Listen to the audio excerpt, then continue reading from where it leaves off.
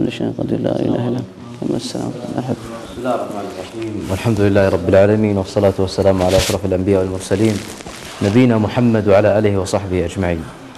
معذرة بس باخذ من وقتكم دقائق. العبد يوم القيامة عندما يريه الله سبحانه وتعالى أعماله وأجوره التي كان يعملها في الدنيا يريه بعض من الجبال الأجور التي كالجبال. فيقول العبد الله سبحانه وتعالى ما هذه يا الله؟ ومن أين أتيت بها أنا؟ فيقول الله سبحانه وتعالى هذه من أجور الصدقة. الله سبحانه وتعالى ماذا يقول في كتابه؟ يمحق الله الربا ويربي الصدقات. سواء كانت قليلة أو كثيرة الله سبحانه وتعالى ينميها لك في الدنيا. حتى تكون لك في الآخرة. ينميها ويربيها لك في الآخرة.